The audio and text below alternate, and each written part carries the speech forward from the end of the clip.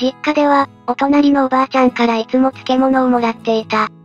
ガレージの片隅で漬けていて、いただく時にはボールを持ってぬか床から取り出したての漬物をそこへ入れてもらう。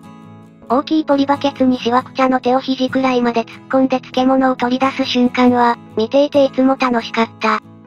漬物をいただく代わりと言ってはなんだけど、母が病院やスーパーへ車で送迎、場合によっては付き添いしていたみたい。その母が、うちのお漬物は全部お隣のおばあちゃんが作ってくれたものと言っていたのを。私は何を勘違いしたのか、この世すべての漬物はお隣のおばあちゃんが作ったものだと勘違いしていた。スーパーで漬物を見るたびに誇らしい気持ちになっていたけど、小学校低学年くらいの時に同級生に指摘され、そうじゃないことが分かった。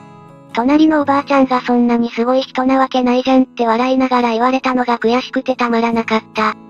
帰宅後、母に、お隣のおばあちゃんすごいのに、あんなにお漬物美味しいのに、絶対スーパーのより美味しいのに。と泣きながらすがりついた。その次にもらったお漬物がいつもより多かった。丸着声だったらしい。恥ずかしかったと同時に懐かしい思い出です。先日ご家族のご好意でお隣のおばあちゃんの法事に参加してきたので、懐かしくなって書き込みました。例のぬか床は現在実家にありますが、やっぱり少し味が違う。お隣のおばあちゃんのお漬物もう一度食べたいな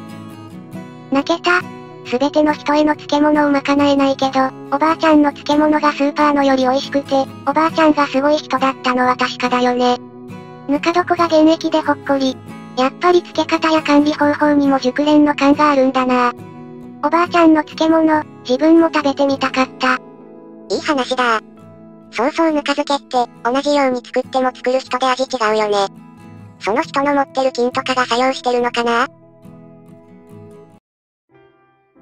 ご視聴ありがとうございました。チャンネル登録よろしくお願いします。また次回の動画でお会いしましょう。